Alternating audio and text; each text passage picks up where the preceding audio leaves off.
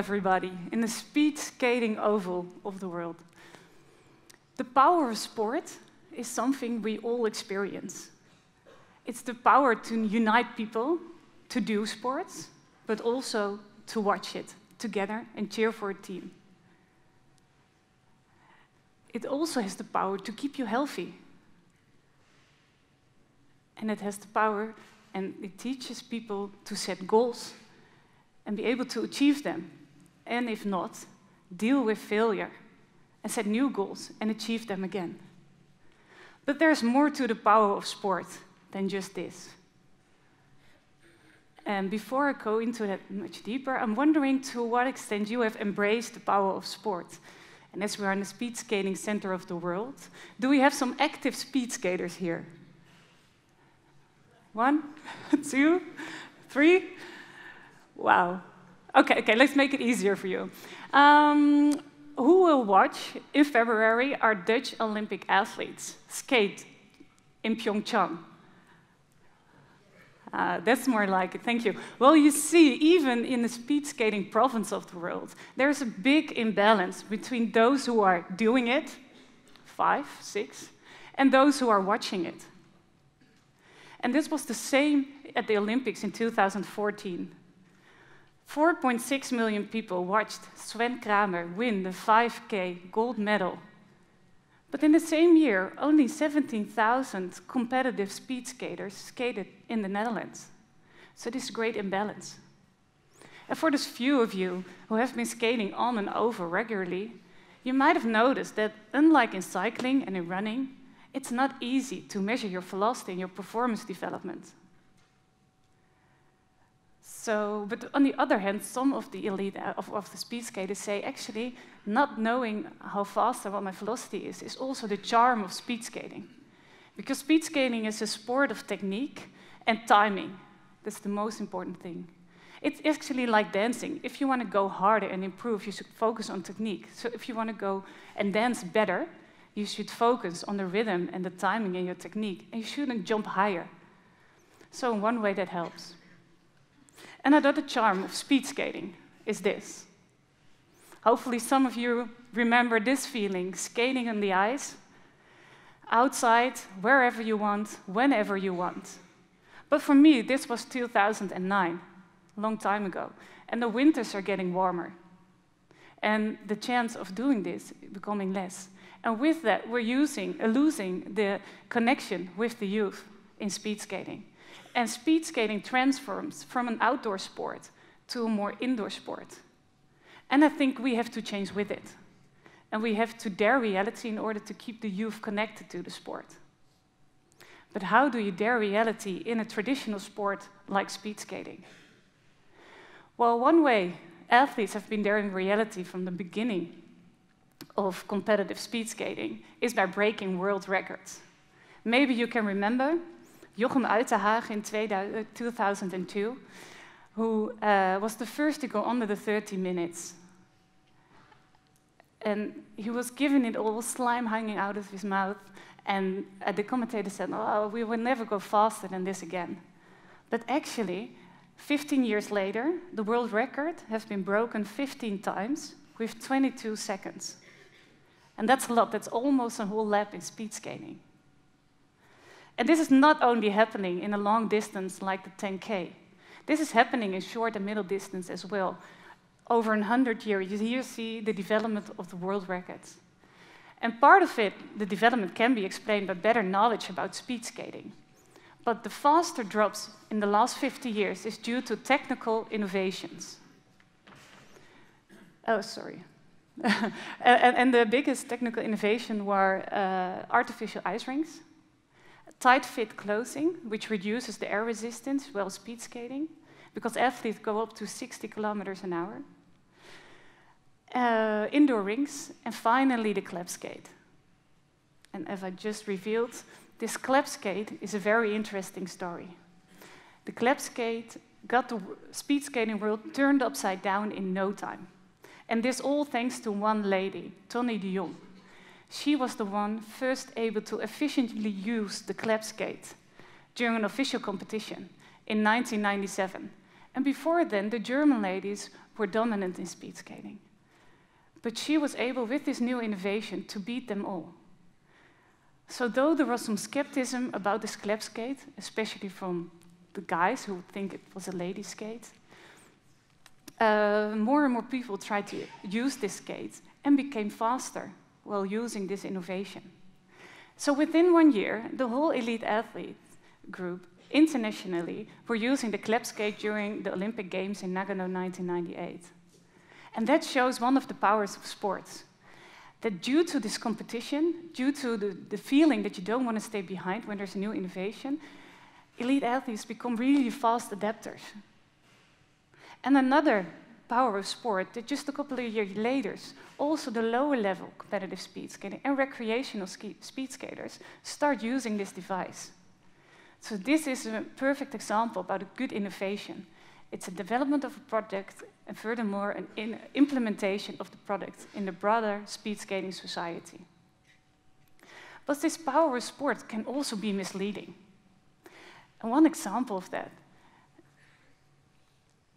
is, yes, the example of Eric Heiden. Eric Heiden is probably one the best speed skater in the world. He won five Olympic gold medals during just one Olympic, so the sprint, middle, and long distances.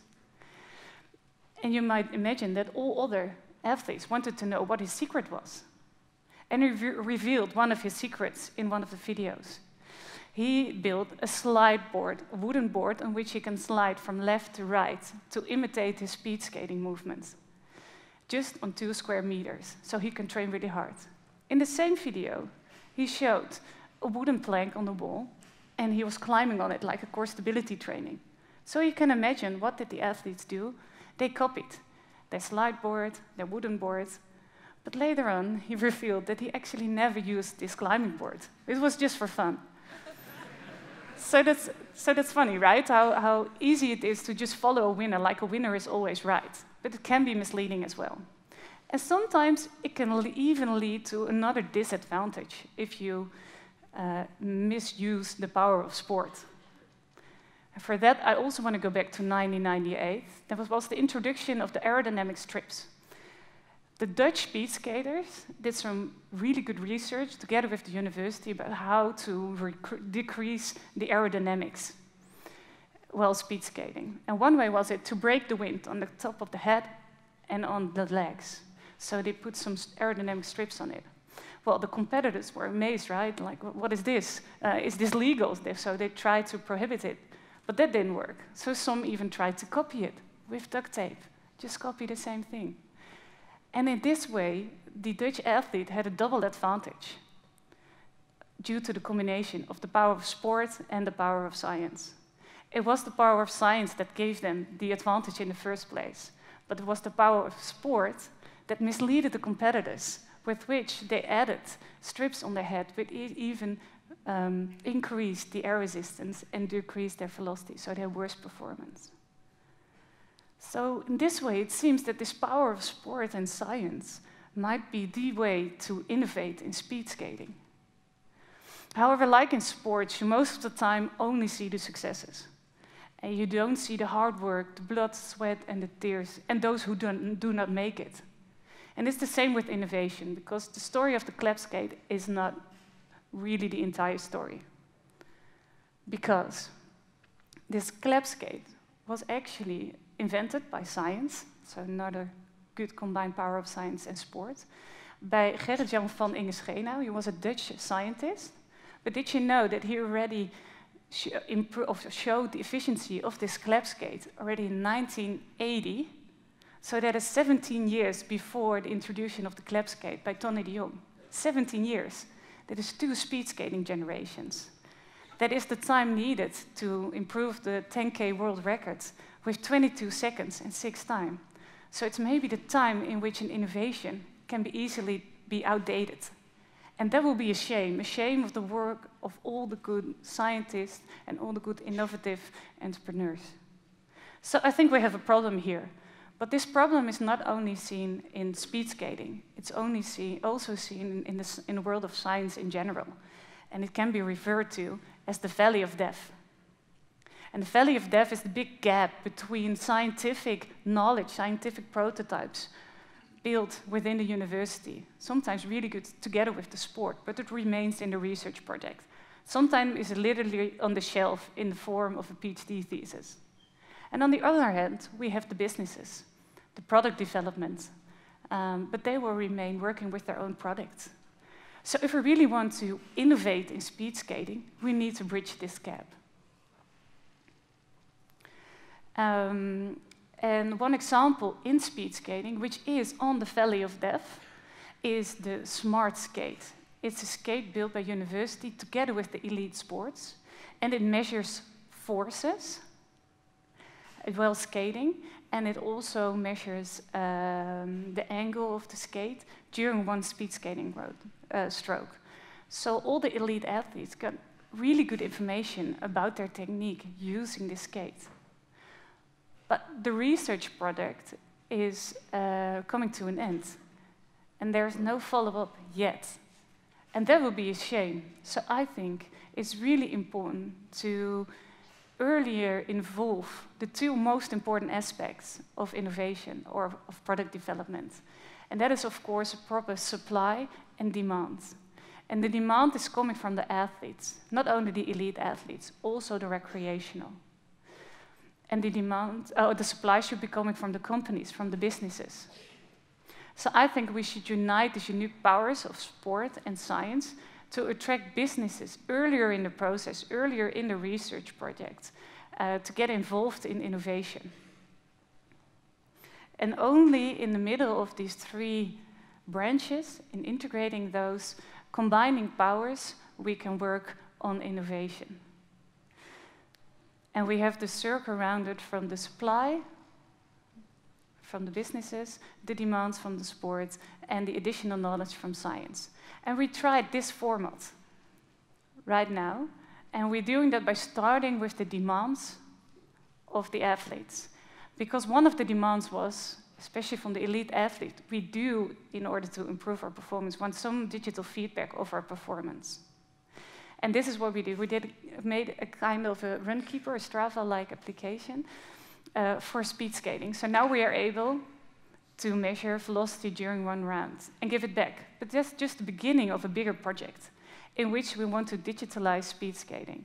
And we want to add information like heart rate, uh, stroke frequency, uh, maybe even information from the smart skate to it in order to give more information back to the athletes. And maybe this will also attract more youth to play on the, on the, on the oval and to see themselves improve. But that will not be the only, only thing. In the meanwhile, parallel in this process, we will start a scientific project, which will work with the data coming from this application. And with that, we can gain knowledge on training programs in speed skating, maybe about injury prevention, and when there's gained knowledge within the research project, this can be immediately given back to the users of the product. And in the other way around, if they have questions about their information, data, they can give it back to science and they can make new um, research projects out of it. Well, in this way, I've tried to unite both the supply, so we have a product, uh, the demands from the athletes, and science. So in order to dare reality, I think it's not that we shouldn't be sitting on the couch and just watch um, the television. We can all be involved. Because for the sports side, this is demand side, we need all athletes. Yes, elite athletes, but also the recreational athletes. And maybe even more important, those who do not speed skate yet. How can we make it more fun? How can we make it more challenging? And we need, of course, the businesses to make products and make it available to you. Otherwise, it is just words. You need to play with it. And finally, science to keep pushing boundaries and daring reality together with us. So hopefully, this new innovation will lead to new world records in February in Pyeongchang at the Winter Olympics. And hopefully, we have more than 4.6 million people watching our Dutch speed skate and win the Olympic medals. And I also hope that the power of sport will affect you and that the Olympics will be a showcase and that you will bring your skates in March to the oval and come speed skating again. And I hope to see you there. Thank you.